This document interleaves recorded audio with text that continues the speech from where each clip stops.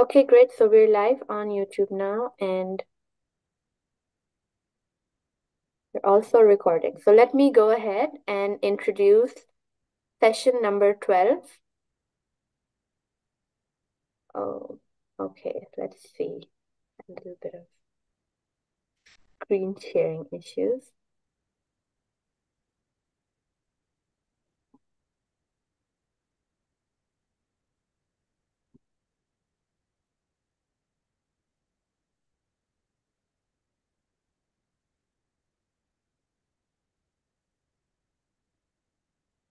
Okay, great.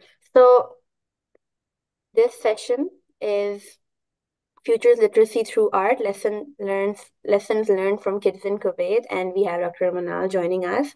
Dr. Manal is the founder and managing partner of Think Tank Strategy Consulting, specializing in advisory and learning of strategy, strategic foresight, and futures thinking and design.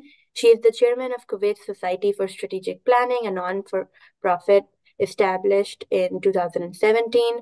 She has been advising government members on strate- strategy development, implementation, and communication for change for 10 years, including recently KFAS, the Man Assurance, and Ministry of Interior. She is also selected as one of the most inspirational persons in Kuwait by those who inspire international organization, as was also selected as one of 60 powerful female leaders by the United Nations Women in 2018.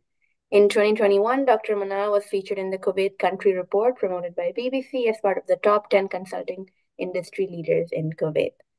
And she'll be sharing about her experiences on teachers teaching futures thinking to a group of young children in Kuwait during a one week camp.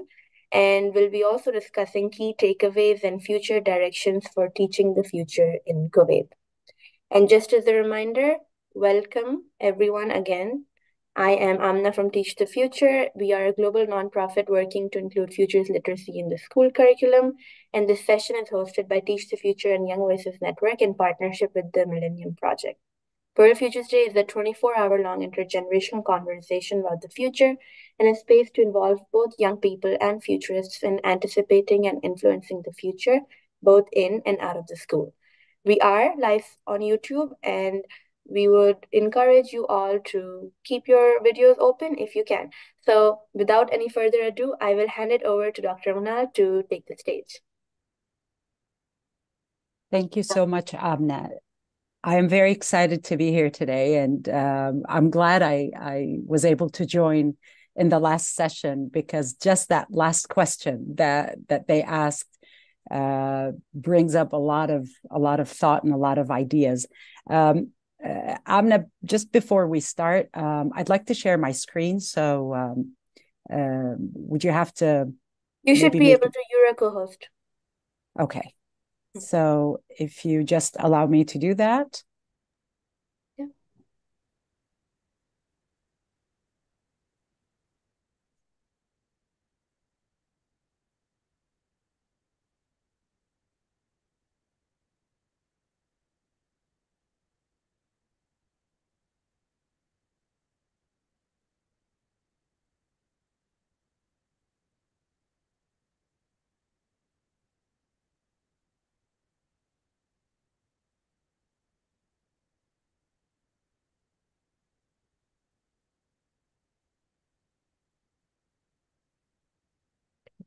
Thank you guys for your patience. It's um,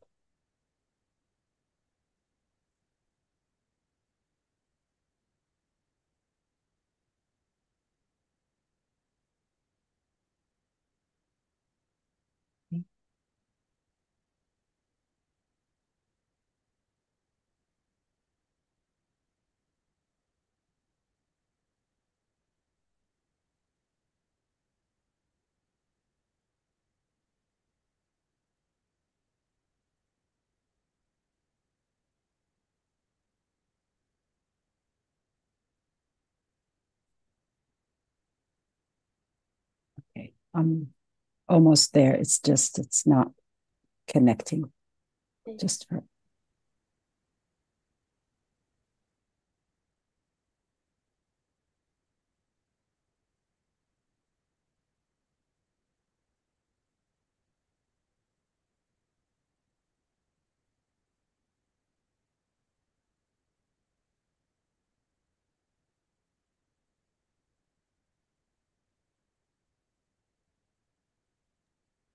In the meantime, I'll just. Oh, did you, were you saying something? No, no, I'm good. Go Okay. ahead. Yeah, in the meantime, I'll just encourage everybody to share in the chat where they are tuning in from and what time it is in your part of the world. And we see your screen. Great. Okay, great. So I think it'll be easier to do it this way. Okay, so I've been, let's say, dabbling in futures thinking and uh, strategic foresight uh, for about eight, nine years now. And for me personally, when I think about the impact that this has had on on my own life, on my own personal life, on my professional life, it I cannot give this framework enough credit for transforming the way that I looked at life and I looked at the future and I looked at opportunities in, in so many different ways.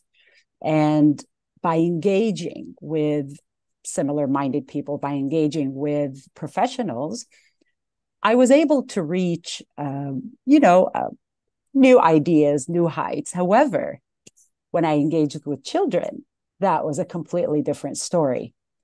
So let me introduce you to Talal. Talal is a clever nine year old who I had the privilege and pleasure of hosting in the camp that we're going to discuss today. So I had an interesting conversation with Talal, and this conversation made such an impact on me uh, that it actually motivates a lot of the work that I do and I'm planning on doing uh, for children in Kuwait when it comes to teaching future future literacy, uh, talking about the future, uh, making them understand that we do have a choice and how things progress and how things move. So I was talking to Talal in in one of the days, and and he comes into um, the studio where we had the the camp, and he says, uh, "Dr. Manal, I'm really tired. Is it okay if I lay down on the couch today?" I said, "Yeah, absolutely. You can lay down on the couch." And I started asking him questions about his day and what he was doing, and and you know how he spent his day, and and how come he was so tired. He said, "Well, I." Woke up in the morning. I had to go to school. I had to spend eight hours in school teachers telling me what to do. Um, I had to do homework. I had to come home. Um, I had to work on my homework. And then I had to go to soccer practice where the coach was telling me what to do. And then I had to come back from that. And my mom had signed me up for paddle practice. And then I had to do work on that as well. And then now I'm here. Um, and then I have to go back home and, and see what else I have to do. And that stuck with me. That word I have to do it. It stuck with me, and and it stuck with me for a reason. And I'll I'll I'll I'll expand on that as we get to that part. But but I want you to keep his words in mind as we move forward. I want you to remember that he has to do a lot of the things that he does in his life. He has to sit in class for eight hours. He has to do his homework the way it's asked to be done. He has to practice soccer. He has to do a lot of things. So, by bringing in future literacy and by making sure that we equip the next generation with future literacy, we're not just helping them think in a different way. We're not allowing them to use a different tool set that they can carry over with them in different parts of their lives, but we're also teaching them things like adaptation, resilience, words that were used in, in and, and I, I was excited to hear in our previous session, and I'm sure that they were used multiple times throughout the conversations today. We are not just providing them with uh, you know with with with a different way of looking at things but we're also giving them the power to thrive in an ever changing world everybody's talking about how fast, how dynamic this world is. Technology is coming in. It's doing a lot of things that we do. Um, it's it's augmenting our presence. Uh, I'm one of the people that that is very optimistic about technology, so I'm not going to say it's going to take over, but it is augmenting our presence. It's augmenting the way we work. It's augmenting the way we learn, the way we study. So it's very important for us to equip ourselves and the next generation with literacies, with skills, with ideas, with thought frameworks that will allow them to navigate through all of this. And this is why we want to make sure that we instill this kind of thinking in our education system, especially in Kuwait. So I want to make sure that I I have kids that grow up in a world where where they are able to use their imagination, where they're able to become lifelong learners who, who want to to to be explorers of new ideas and, and new things and and be able to cultivate that sense of belonging in a world that is continuously growing um, and changing and however also becoming very interconnected. So to us it's it's especially in kuwait and especially in the context that we're in it's very important for us to start the conversation about bringing this kind of thinking into the K through 12 education system. So we want to make sure that this happens. But because we're talking about kids who are um, who are more on the imaginative side, kids who still embody that um, that that beautiful, you know, nature that has not yet been. Um, uh, I don't want to say tainted, but uh, that has not been exposed to a lot of the different ideologies and different ideas um, around the world it's not easy to get them to maybe verbally express how they see the future. And uh, it might not be as easy for them to find the right words to say when they're talking about the future. Some of them are even too young to fathom the idea of time. So if you talk about future, um, even if you say 10 minutes from now, if I say, you know, within five days, um, my five year old, if she asks me, um, when are we going to go? You know when are we going to go to to play? And i say well in in you know on sunday. So she says so how many days is that? I say four days and then she says so if i count she knows there are 24 hours. So she says if i count to 24 five times is that five days? I said no honey it's much longer than that. But still we have to find a way to conceptualize the future for kids. And just by being exposed to organizations such as teach the future and, and working with a lot of colleagues um, and um, i have to give um, uh, an amazing shout out to two people who have been extremely supportive for us in this journey um, uh, amna has been an absolute absolute resource um, she has been a cornerstone uh, for us in this journey. And I would give a shout out to Lourdes as well. Um, so we've had multiple conversations about integrating art and um, and getting kids to really understand what it means to think about the future. And we found that by using art as a medium for them to kind of play around with, they were able to find a second language, right? That allows them to express how they see things happening and maybe um, what they envision for a certain idea or for a certain element um, without really feeling that pressure of um, am i saying it right? Am i doing it right? Because art is just you know is just that. It's it's for everybody.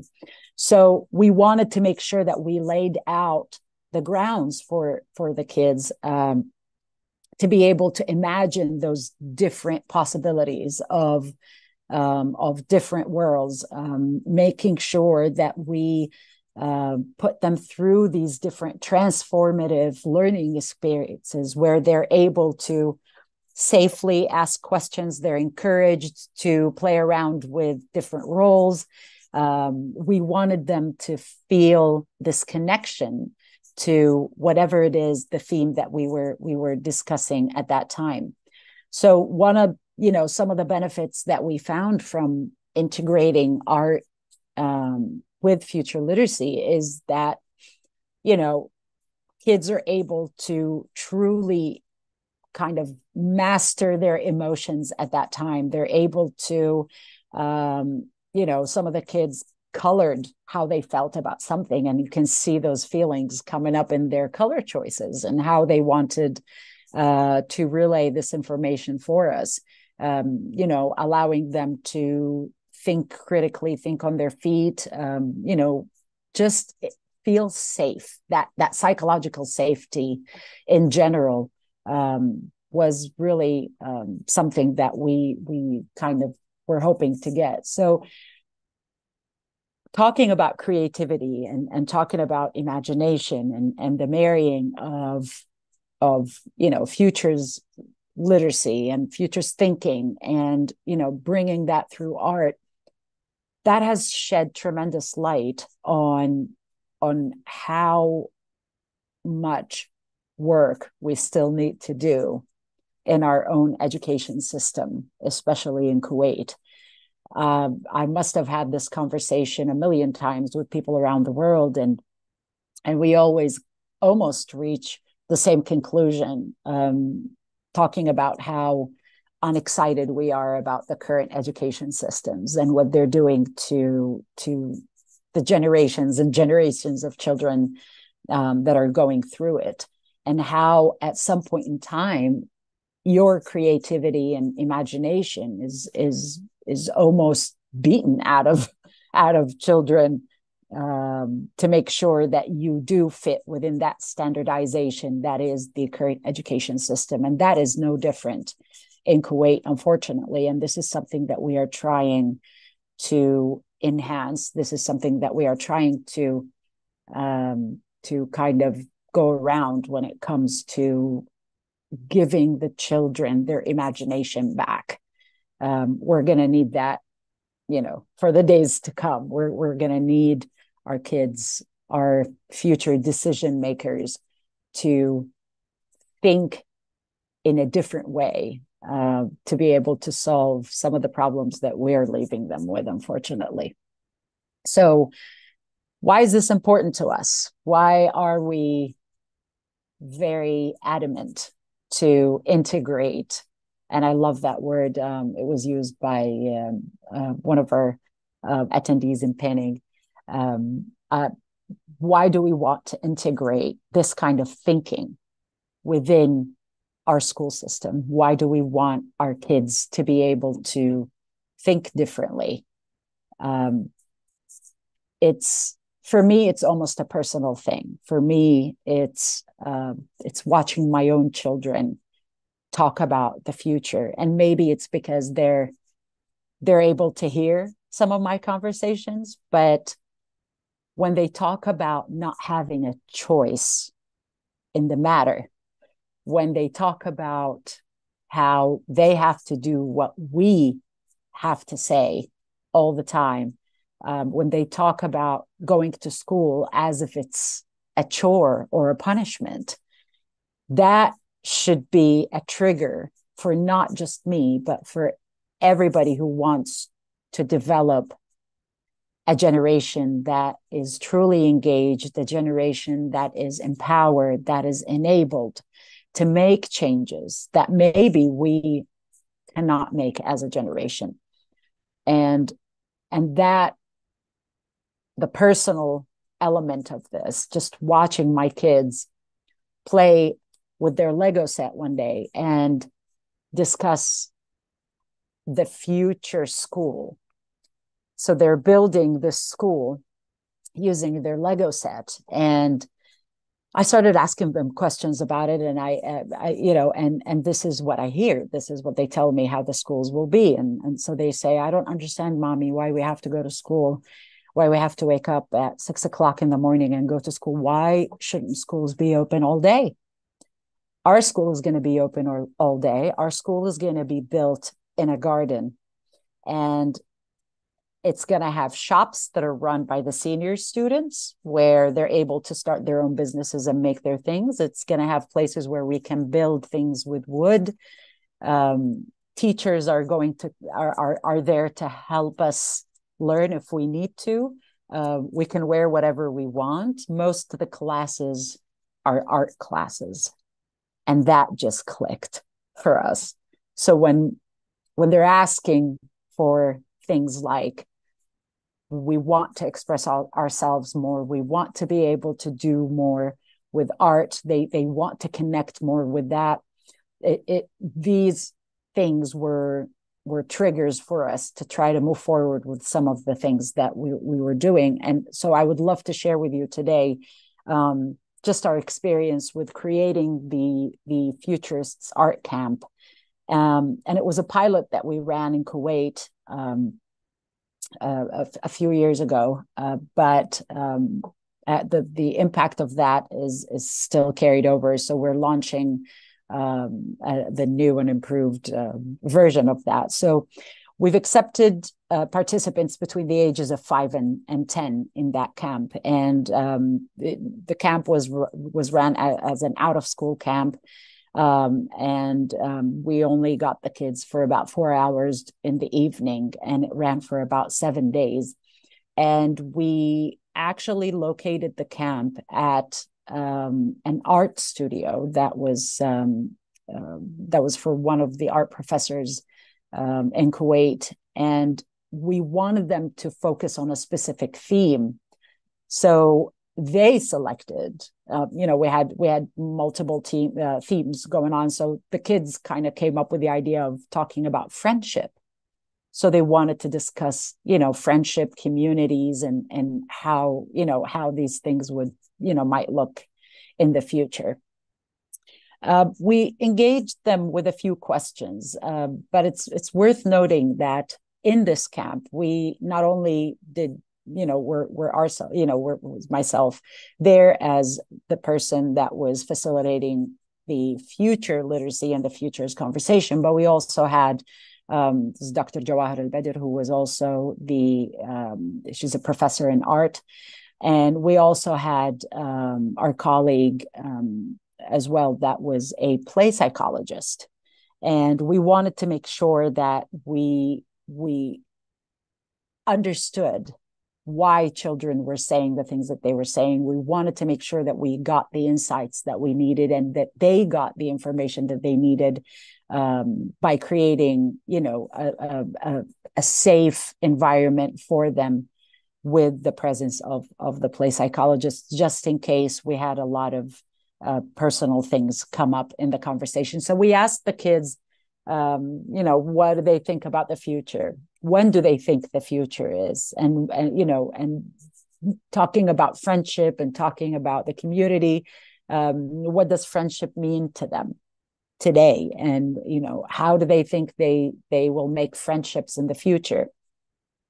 Um, where will they spend uh, time with their friends in the future? And uh, one of the i think one of the, the the main lessons that i learned personally by running this camp was that I have probably started off underestimating how intelligent these kids were because we were trying so hard to simplify the questions to that age group. However we we realized that that while we're asking those questions kids were getting us. They they they understood what we're trying to say.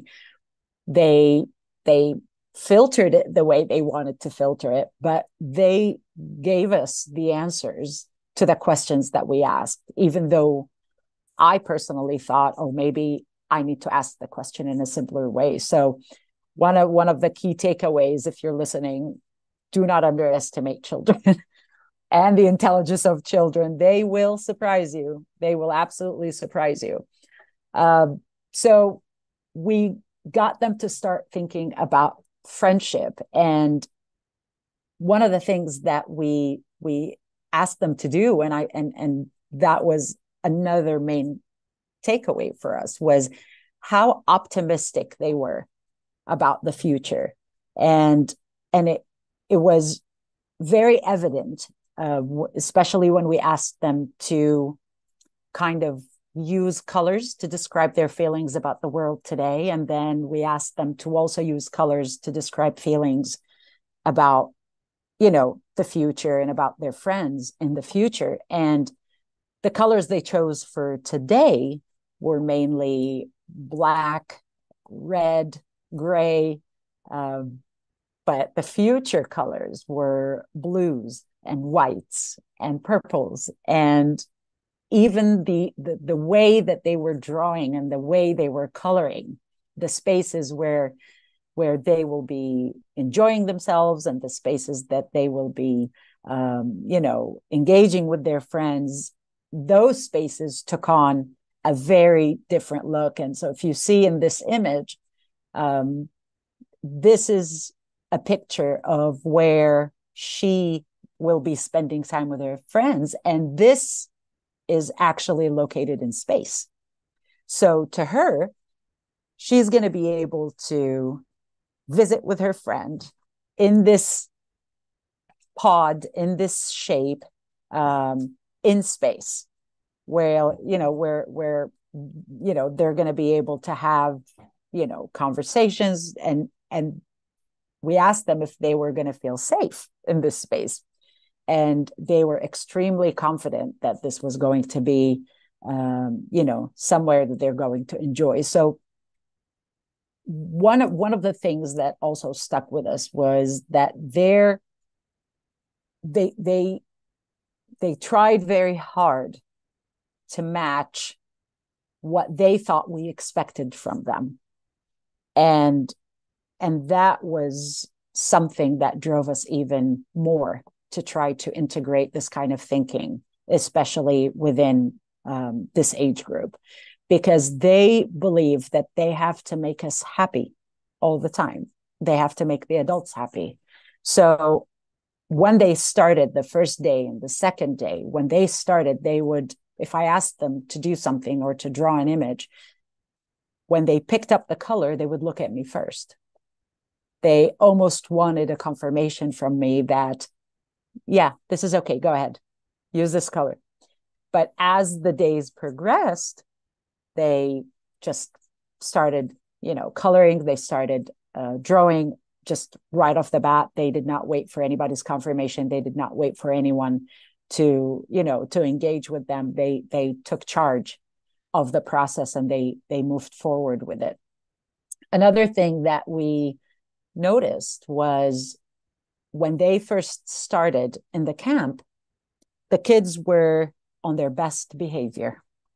So they came into the camp, they sat properly on their chairs, they they spoke only when spoken to, they communicated as if they were talking to their teachers in school. And then as the camp progressed, we started seeing this kids laying on the ground, uh, you know, feeling extremely comfortable. They're, you know, they're playing around, they're engaging with each other, they're they're getting their hands dirty, they're getting their clothes dirty, they're not worrying about making us happy. They're not worried about making sure that me as an adult um, you know are, are okay with what they're doing they truly engaged with the process and and they they started discussing the future in a more vocal way, even when they used art as a medium for that, which encouraged these conversations. But they they used their paintings as the basis to start those conversations, and they would kick off the conversations like, "So, what did you draw, Khalid?" And then Khalid would answer, "Oh, well, this is what I drew. This is how I'm going to find friends in the future." And this is where we're going to hang out. And then they start discussing but they used that main painting that first drawing or painting or the color choice they used that as almost the conversation starter. So that was another great thing that we picked up during the camp where we started seeing that not only are they engaging, but they're really um, feeling very comfortable with the process and they're starting to act like kids, which was really, really great. So bringing all of this together and and and understanding how just by simply putting them in this creative space um, giving them certain tools giving them some blank canvases guiding their conversation ever so lightly making sure that that we do discuss the future literacy skills. However, what we really wanted to do was to show them those skills. So if we're talking about being agile, then we need to show them how being agile looks like. If we're talking about being resilient, then we really wanted to show them what resilience could look like. So by asking those questions, by bringing them into this conversation, um, allowing them to have a voice in just as simple as you know an activity as uh, where what color do you think i need to color this painting what where you know where should i put my house do you think i should put it here or there what we realized the one um, let's say, component that was missing from this whole conversation in our education system was truly agency. Our kids do not have agency anymore. Our kids do not have a choice.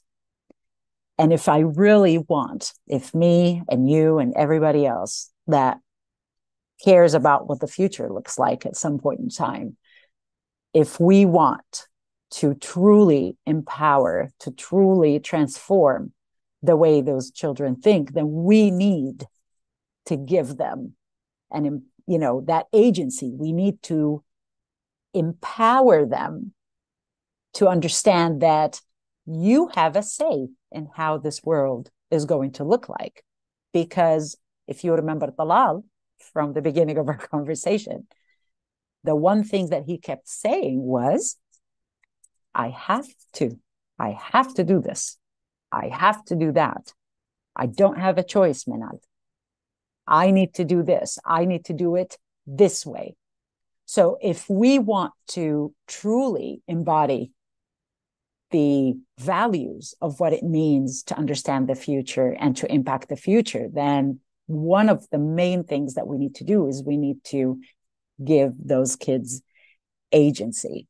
So what do we do moving forward? And this is something that we are we're trying to work on currently with the education system in Kuwait, and we would love to um, engage as many partners as possible, whether um, you know parents or the community.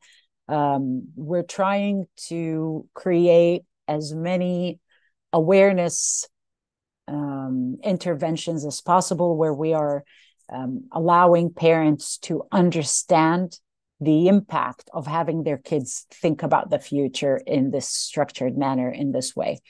Um, we're trying to um, get um, the educators to access different resources for professional development trying to get them to understand more about what it means to teach the future and have you know the future be part of their conversations in the classrooms. Um, talking about curriculum redesign, trying to to approach um, the authorities, the the um, the ministries responsible for you know for education in, in Kuwait, and um, providing them with the you know the resources that they might need to take a second look at what is it that we are um, asking our kids to learn about.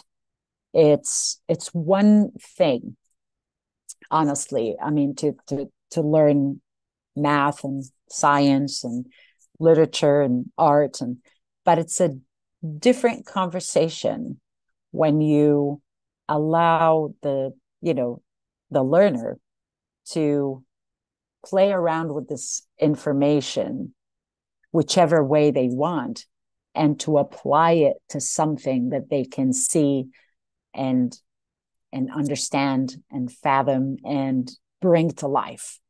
Um, it's it's very important. We're we're not seeing this as much especially um, here in kuwait where we've had multiple conversations with different school districts um, we're tr- we you know we we try to highlight the idea that beyond the walls of the school our children today with the current education system um, cannot understand the value of the information that they've been asked to memorize um, to be evaluated uh, on later. And one of the easiest ways to get them to think differently about something is to integrate futures thinking into the curriculum. I mean, as an adult, um, it it has taken me to completely different places. Just thinking about my work, thinking about um, you know our market, opening up multiple opportunities and possibilities just because I started looking at things differently and I started using those skills differently. So by understanding the value of having these skills integrated into our system and by using the the ever so loved medium of art especially for children we can bridge this conversation between our kids in the classrooms today between the educators in the classroom between the parents between the community and truly give those kids the sense that they do have a say in this world. So, you know, just before I wrap up, um, I, you know, I, I honestly, it's, it's one of the most um, personal experiences for me to when I engage in talking about futures thinking. And i think maybe uh, maybe amna knows that and um, other uh, my you know my other colleagues at at um, the uh, teach the future uh, they probably have heard me say this but it's it's something that i don't take very lightly. And i i do feel that this is one of the very few ideas in the world um, that are really worth spreading it's it it, it just the value that it gives it you know allowing allowing our children allowing ourselves to look at the different possibilities that might come about um, the tolerance that it gives you for yourself and for others and for other ideas and for other ways of thinking the humbleness that you have once you start engaging in this in that you are part of something that is huge, that you are part of this great collective intelligence that is trying to guide this world into into a better place. So um, it has been a privilege to take part. This is my first, um, uh, you know, um, Futures Day, um, World Futures Day conversation, and I'm, I'm I've been very privileged to take part in that. And I thank each and every one of you for for sticking around and hearing what I have to say. And thank you, Amna, for for your support in this. Thank you, Dr. Manal. It was so nice to hear about your insights with how you, you've used art as a medium for kids to express themselves. I really like the transition where you mentioned how the kids first came in, but they were all thinking that, oh, it's going to be like a classroom. I have to sit properly. I have to only speak when the teacher speaks. But then as time progressed, you saw them really open up to this concept of, you know, creative expression and freedom to do what they would like to do. So it's really interesting to see how, you know, young kids think that, oh, we have to do something that will make the adults happy, you know, because we don't want to be either scolded or we don't want to be, you know, considered naughty I guess. Yes, so, yes. You can choose the words. There we we we've given this so many words for them to choose from. It's sad, truly. Yeah. yeah. So it's interesting to see how they sort of like changed and adapt their behavior based off of what they think the expectations might be. And you would think that, oh, you know, they're still young, like they won't really remember it, but they do because that's how people grow you know we like remember things and those build off of our experiences and when you grow and you become an adult it kind of i would say does translate whatever however you lived your childhood so it's Yeah. it's amazing to see the work that you are doing with the kids in Kuwait Thank if you so much has yeah, if anyone has any questions for Dr. Manal, please you can unmute yourself. You can drop the drop a question in the chat. If there are none, I have two questions that I'm going to ask you. I'm just going to wait. Let's see how the room is.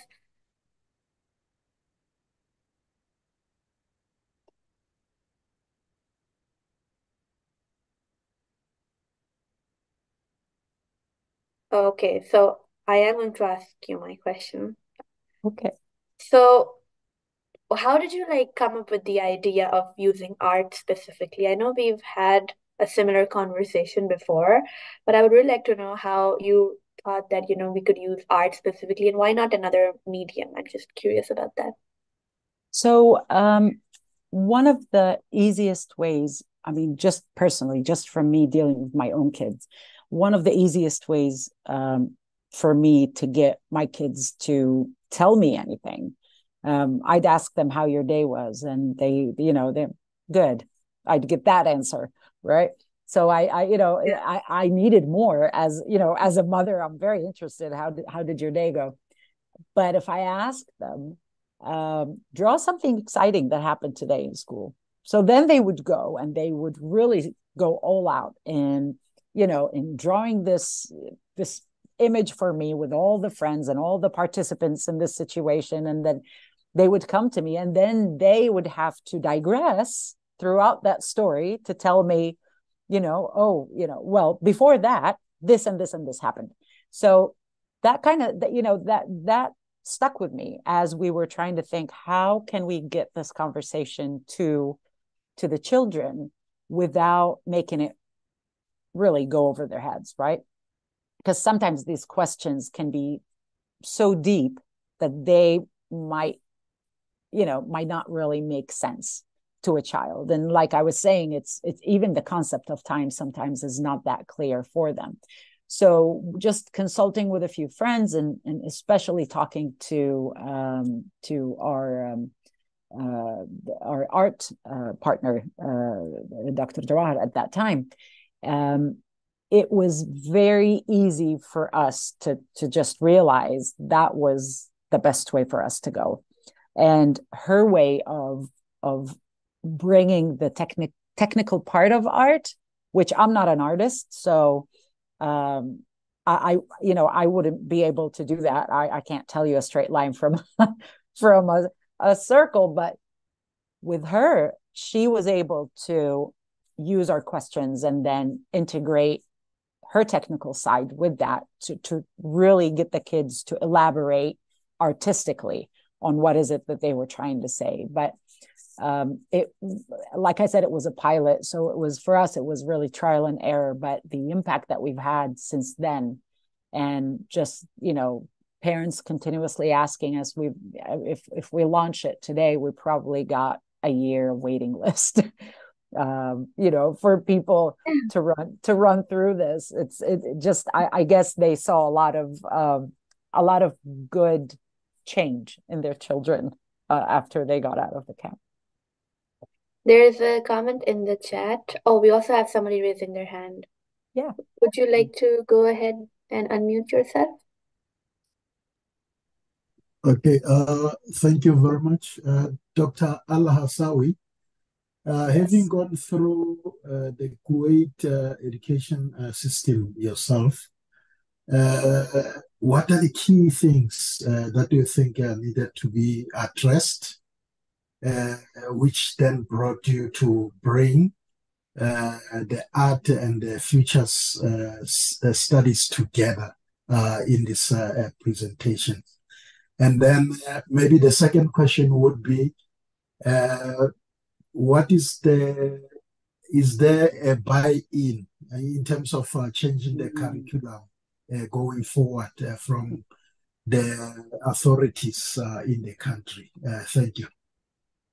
So I, I love your questions. Thank you so much. Peteng, right? I said that correctly. Um, yes, that's correct. Good.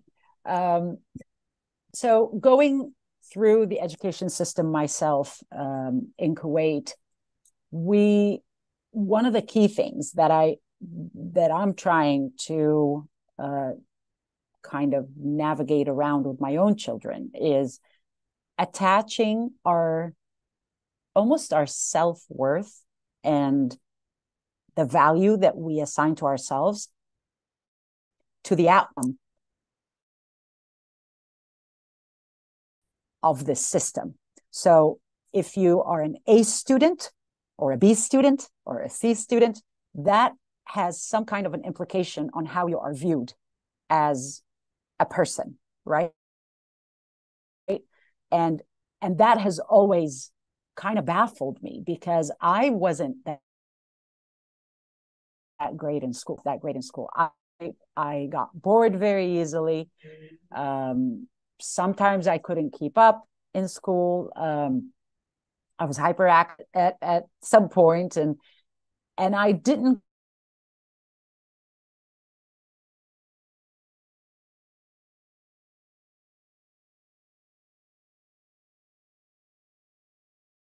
wasn't an accepting system.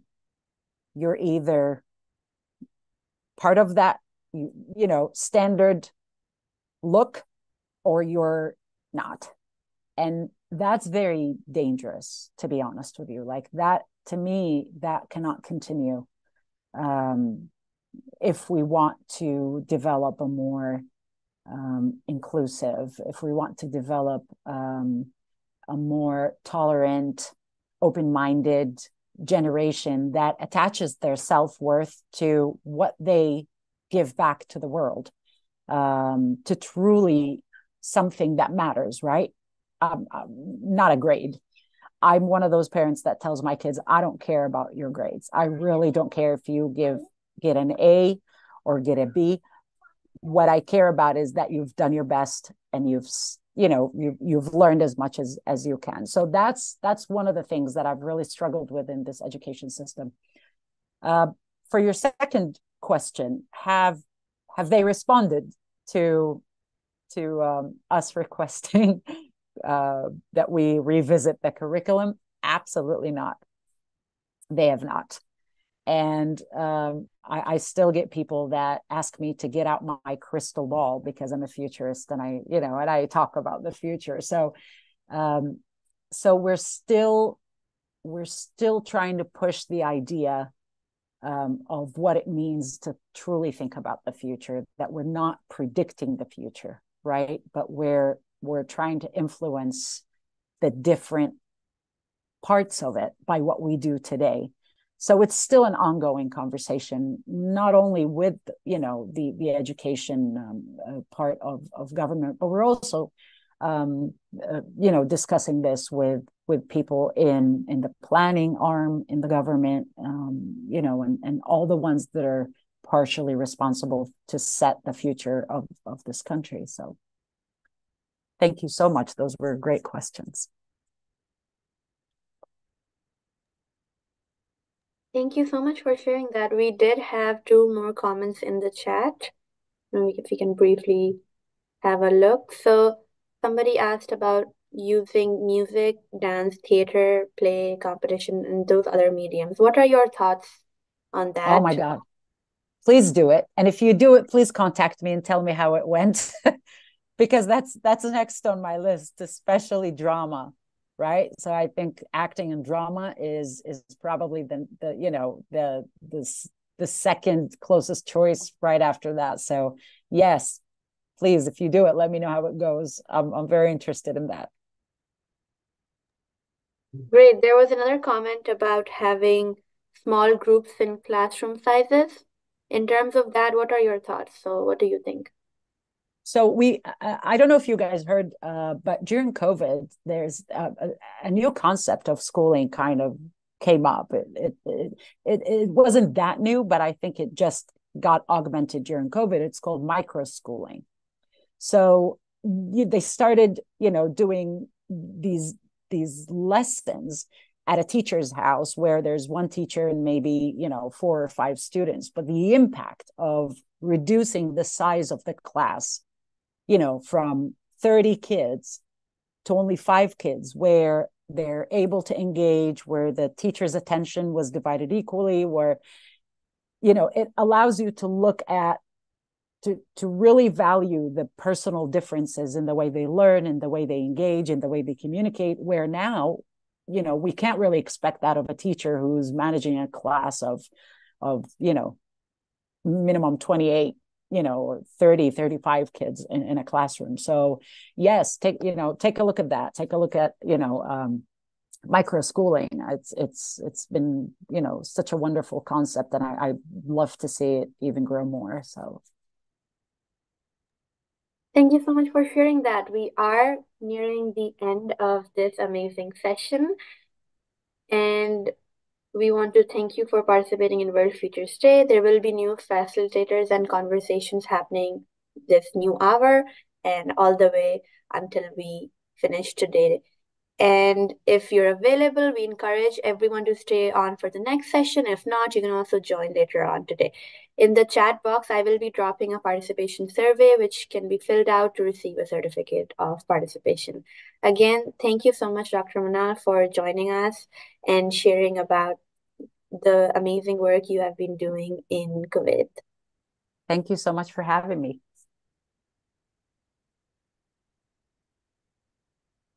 Great.